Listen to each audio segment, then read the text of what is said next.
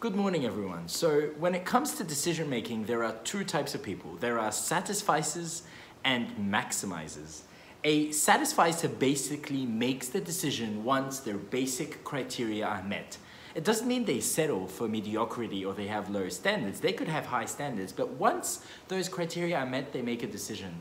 A maximizer, on the other hand, has to shop around and make the best, most optimal decision. So um, we're all, we, we, we are all a mixture of both when it comes to decision making. We approach some decisions with a satisficing approach and some decisions with a maximizing approach.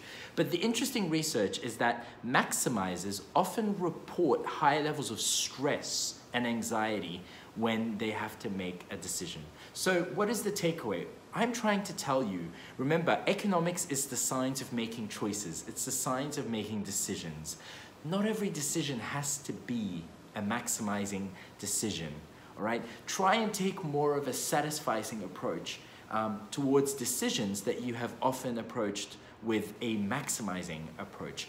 And you'll notice you will feel less anxiety and less stress. You know, going out for grocery shopping, for example, a lot of people, I'm all about finding good deals, but a lot of people stress a lot about finding good prices at grocery stores. And we live in an age where we are inundated with choice. So maybe grocery shopping, um, taking more of a satisficing approach can be less stressful and less anxiety inducing.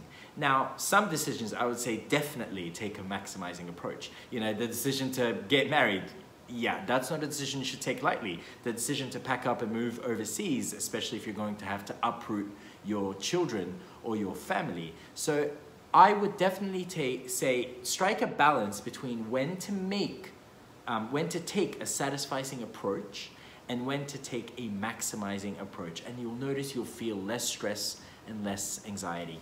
Have a good one.